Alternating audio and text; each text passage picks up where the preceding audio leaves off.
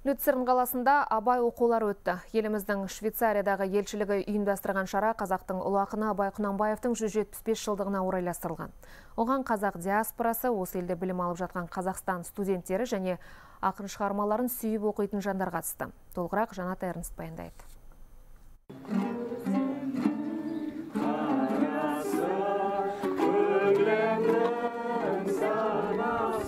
Абай өлеңдері Швейцарияның Люцерн қаласының шетіндегі ескі Меган қамалының қасында жыр болып төгілді.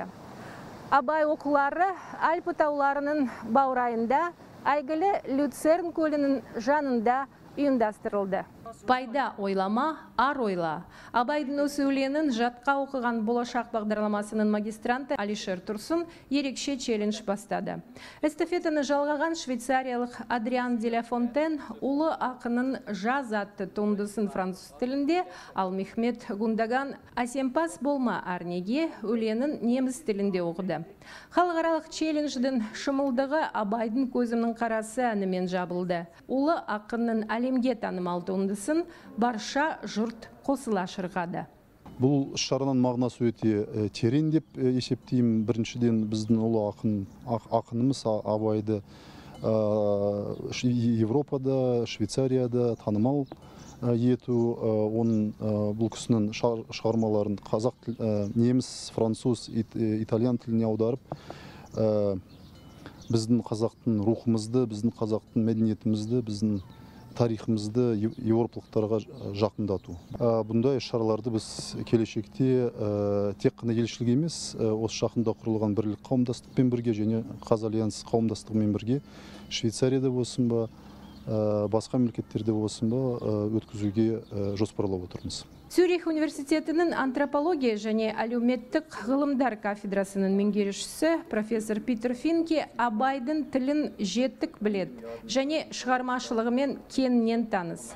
Оның асыл мұрасы ғасырдан ғасырға мирас болып қалады дейді швейцариялық ғалым. Немістер үшін көте болса қазақтарға абай соның, соның орны алады. Деп ойлаймын мен абайдың ауылына бардым семей жағында иә семей семей университет шақырым университетінде сабақ бергенде сол ауылға апарған соның ауылын көріп кітаптар бар бәрі евде үйде бар үлкен бір той болсын жалпы дүниядан адамдар келеді деп ойлаймын мүмкін болса мен де барайын j'ai beaucoup apprécié le côté euh, réaliste.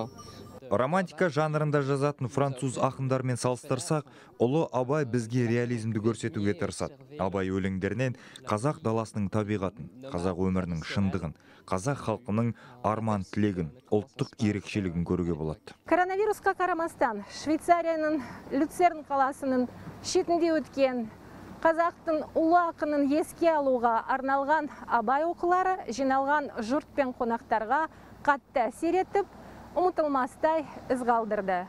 Жанат жомарт ахметов хабар 24 люцерн швейцария.